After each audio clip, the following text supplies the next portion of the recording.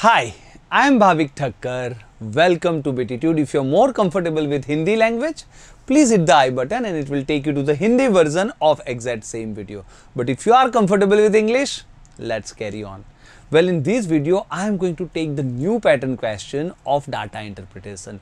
When I am saying new pattern, that means kind of the questions that are actually asked in the recent examinations. These are kind of the questions that are asked in the MBA entrance like CAT and also in CMAT or MAT or SNAP and NMAT. And recently, these are kind of the questions which are asked in bank main exams like IBPS, SBI, etc. also. So for all these kind of examination, these questions are very hot. They are asked. Now when I'm saying this kind of the question, what exactly that is that pattern? The pattern is ex exactly a Caselet form where you're not going to get those traditional charts or tables or bar chart or pie chart, nothing like that. You are actually going to get a paragraph so you'll have to understand what exactly is given in the paragraph, what is that information and you will have to make or put them in a structure, right, on your own. You'll have to visualize in which kind of a structure that data fits the best. If you can understand that, then you can solve them pretty easily and that is the beauty of Btitude. We actually make very basic videos, concept building videos where we make your fundas clear. We build your concepts and if you have watched those videos, this kind of the questions become cakewalk because that's where you have developed lateral thinking. You can understand the questions in their real sense. You can understand the data in their real sense too and you can easily answer the questions which are asked based on them. Now this particular question was actually asked in one of my WhatsApp group. Now this is the WhatsApp group where students can put their doubts and whenever I find them interesting, I make videos out of it. So in case you are interested, in case you really want to join that group, I am actually going to give you the link in the video details. You can hit that link and join the WhatsApp group, put your doubts and I am going to solve them with the best possible shortcut of Btitude. So let's get started.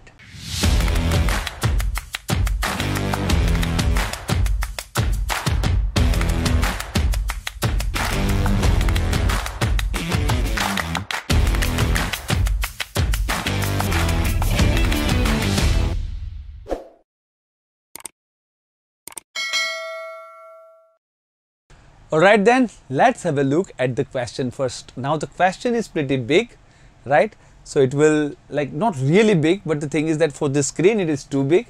So what I'll have to do is I'll have to become Mr. India and I'll go out of the picture and you will have to understand the question first, right? What I want you to do actually is you can actually pause the video.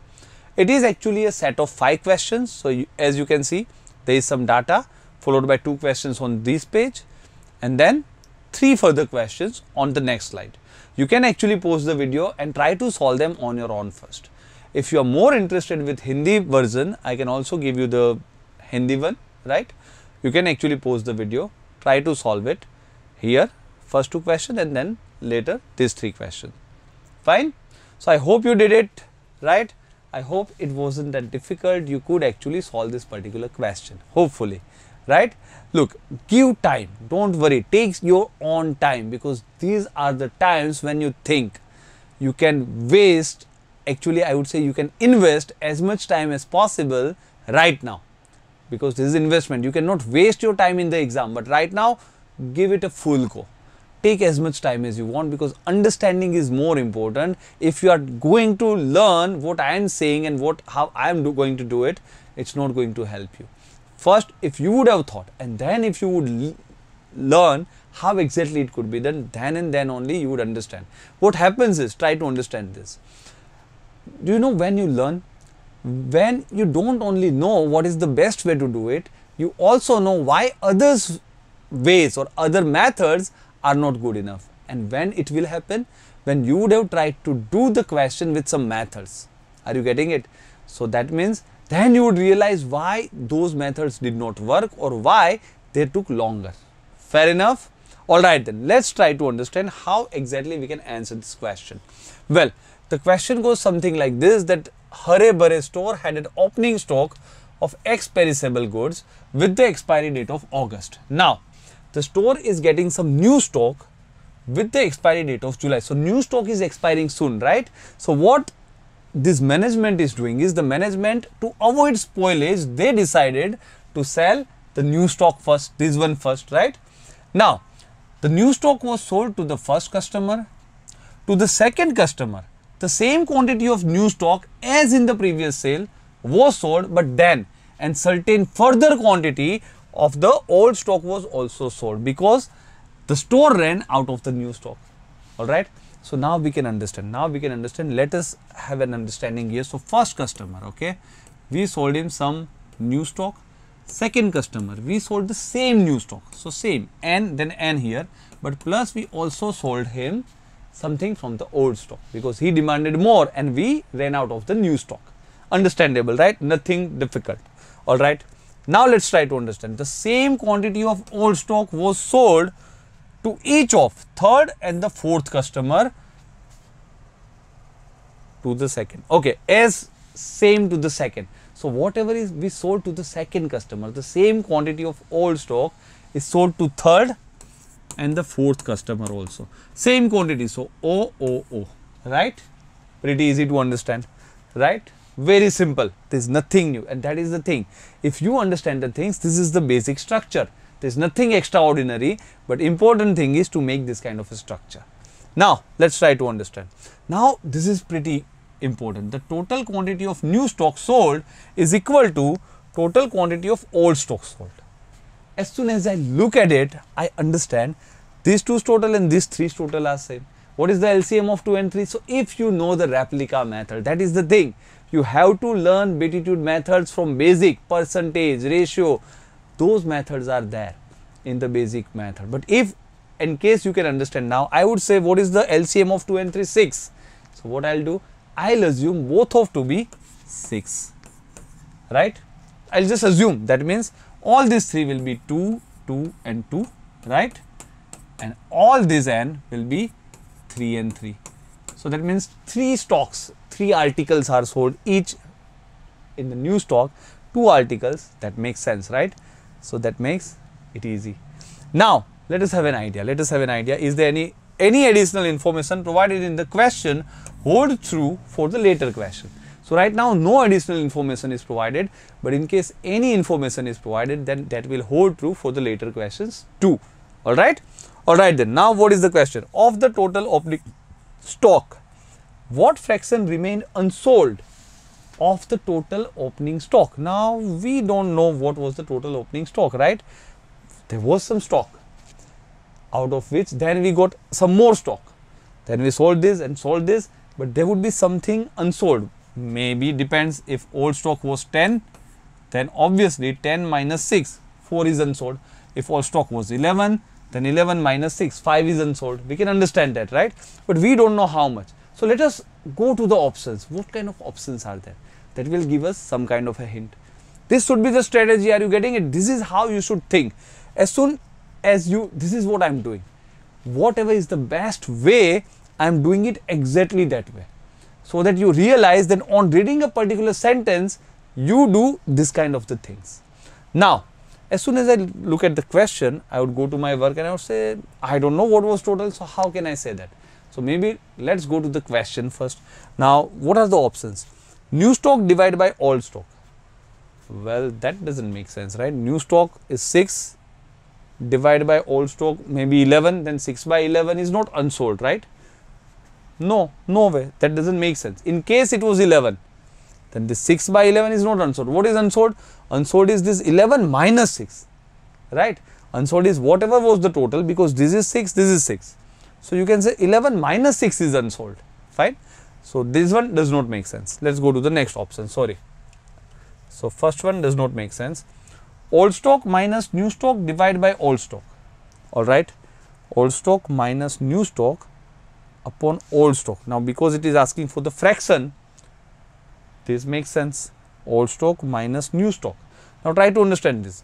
Whatever was the old stock 11 minus 6 because 6 is sold right? Actually not this 6 this 6 but it is the same because the same quantity of new stock and old stock is sold, right? So whatever the quantity of new stock was there, we sold exactly the same quantity of old stock that is already given in the question. So exactly if you understand, it is opening stock minus old stock sold divided by opening stock. That should be the answer.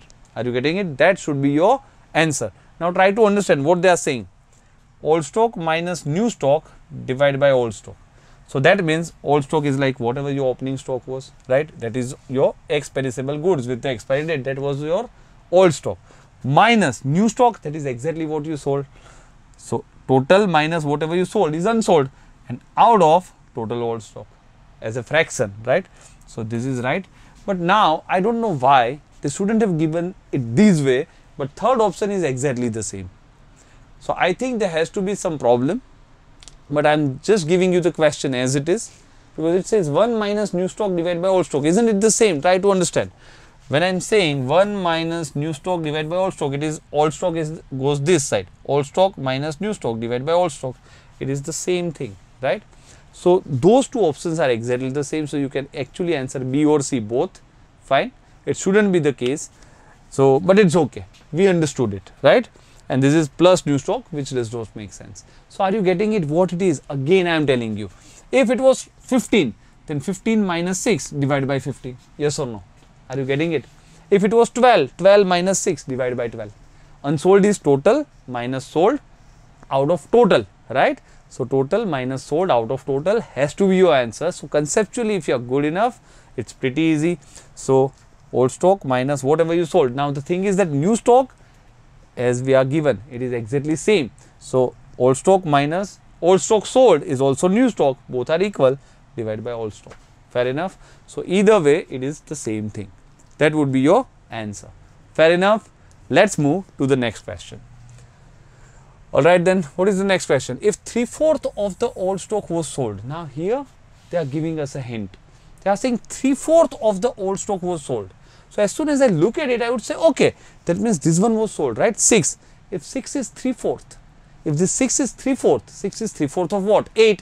That means total stock was 8. Now, I will say total stock was 8 from this question onwards because they said, what did they say? Any additional information provided in the question hold true for the later questions too. So, this is the new information which I can use for the later question. What is that? 3 fourth of the old stock was sold. That means in my particular replica, I can say 8 was the total old stock, 6 was sold. Fair enough. Now, what is the question? What fraction of the total stock was sold? Then what fraction? Obviously, it's pretty easy, right? But try to understand total stock, not opening stock. So, if it was opening stock, are you getting the difference? Opening stock, then obviously 6 by 8 is sold, right? But total, total is actually 8 plus this 6 you got further. So, total stock became 8 plus 6 that is 14 and how much of that one is sold? Obviously 6 plus 6 12 is sold right. So, that makes it 6 by 7 fair enough we can understand that really. So, that is how easy is it if you understand it it is pretty easy right. So, the answer should be 6 by 7 here you go that was your first option fine. What about the next one? The next question says quantity of old stock sold per customer upon quantity of new stock sold per customer. You already found this out, right? Quantity of old stock stock sold is 2, new stock is 3 per customer, right? 2 each, 3 each. So, that ratio is nothing but 2 by 3, pretty easy, right? 2 by 3, there you go, right? So, that was pretty easy and simple, fine. So, look, 3 questions are done something like this, pretty easy. Now, what is the next one? This is going to be a good question. Fourth question. The store received, I am going out, fine. The store received the third stock which was thrice the remainder of the old stock. Okay.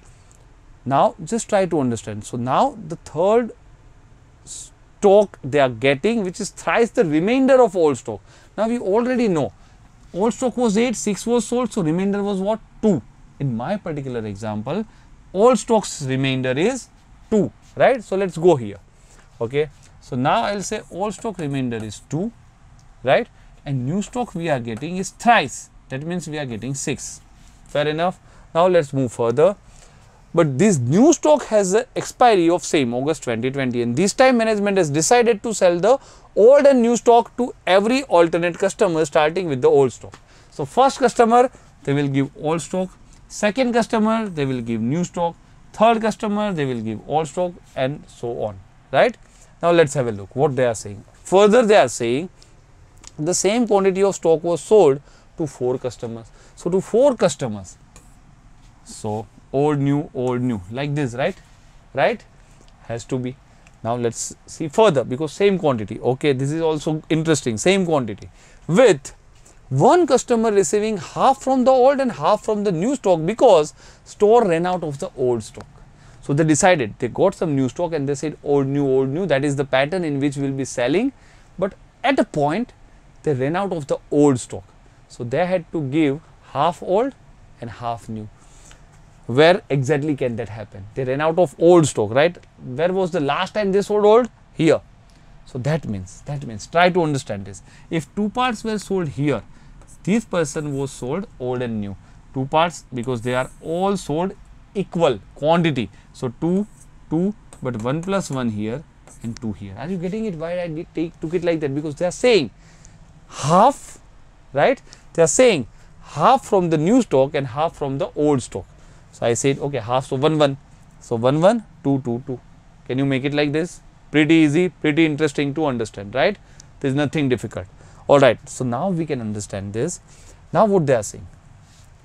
So, this is all we can understand. Now, old stroke is finished, right? Now, now look, there is another problem. So, total old stroke becomes 2 plus 1 3, right? And here total old stroke is 2. So, it does not match properly. So, I would say okay, does not matter. What I will do is, I have to take that kind of a stock which is LCM of 2 plus 1, 3 and 2. So, let us assume 6, right? Let us assume 6 here. Then it will become easy for us to understand that kind of the figure because total has to match. Are you getting it? Total old stock. I took from that particular question that okay, 8 minus 6 is 2. 2 was the remainder. 2 was the remainder. Then this is 3 times. But in this particular example, it does not go properly because here old stock sold is 2 plus 1, 3 right because here old stock is 1 total is 3 total is 2 here so let us assume total is LCM of 3 and 2 6 so what I am doing? I am just multiplying all the numbers with 3 because it is 2 here. To make it 6 multiplying with 3 so I'll say this is 6 then this is also 18 are you getting it? So everything will be multiplied by 3 then and then only. Not 3 these two. Here I'll have to make total 6 that means multiplied by 2 total is 3 right. So, here I will have to multiply it with 2. So, that means old stock sold was 4 double. 4 here. 2 plus 2 here 4. So, instead of this example I am now taking this example. Total old stock is 6 total new, new stock is 18 and now so it is thrice. How I am selling it? 4 4 4 4 same quantity but to this third customer, I would have to because we ran out of the old stock, 2 of old, 2 of new. So, now if we understand, old stock sold was obviously 6 minus 6, 0. Now, old stock is not left, but for the new stock, I would say 18 minus 4 plus 4, 8, 8 plus, sorry, 4 plus 4, 8, 8 plus 2, 10. So, minus 10 and 8 would be the remainder, the final remainder would be 8 as per this question, right. Now, what is the question? Let us have a look. What is the question? The question is, so now look, because I multiplied this with 3 in the before question, you know, the question that we actually calculated here also, I would have to say it was 24, right? If I have to take the same example, it is easy. But let us understand, if it is required, then we will do it. Alright then, let us have a look here. Here it says, the quantity of new stock sold as a fraction of the total new stock is equal to. Now, what is the question? New stock sold is 10 out of 18 right? So answer would be 10 out of 18 or you can say 5 by 9 5 by 9 right? So answer should be 5 by 9 but they haven't given the answer directly.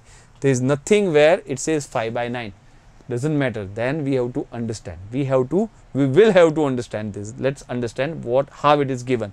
Here they say quantity sold per customer divided by 4 times opening stock. Now look that is the thing. That is what I was talking about. Because we changed this example, right? Opening stock carried forward. Remainder opening stock is taken as 6, right? Now, in this example, the remainder 8 minus 6, it was only 2. So, if 2 is taken later as 6, that means I have made it 3 times. then this whole example has to be made 3 times 2 that means total was actually can be taken as 24 and 3 times that means 6 6 6 was sold 18 was sold and 6 was the remainder fair enough right? So now we can think like this. So now now try to understand this. So our opening stock is 24 now because the replica has changed. Our example has changed. Fine? Now let's try to understand this. And please watch that ratio lectures those percentage lectures to understand the concept of replica. Because if you have that knowledge it becomes pretty easy. Fine? All right then. Now let's try to understand what is the question. We have to get the answer as 5 by 9 all right? Now let's understand quantity sold per customer is nothing but 4 here right? So it is 4 and 4 times opening stock opening stock was taken as as i told you it is 24 now right? So 4 times 24 is actually 96 it is nowhere near to 5 by 9 so i'll say first one cannot be the answer. Here 5 times quantity sold per customer. So 5 into 4, right? 5 into 4 upon 2 times opening stock. Opening stock is taken as 24, right? Now 4 6 are 24. So what is this? 5 by 12. My answer was 5 by 9. It is still not the case. So second one can also not be the answer. Are you getting this? What about this one? 10 times quantity sold per customer. That is 10 into 4. That is 40 divided by 3 times opening stock. What was the opening stock? 24. 3 into 24 is 72. Is it the same as 10 by 18? If you divide both by 4, it is exactly 10 by 18. There you go. That is exactly the ratio, right? So that is how easy it can be.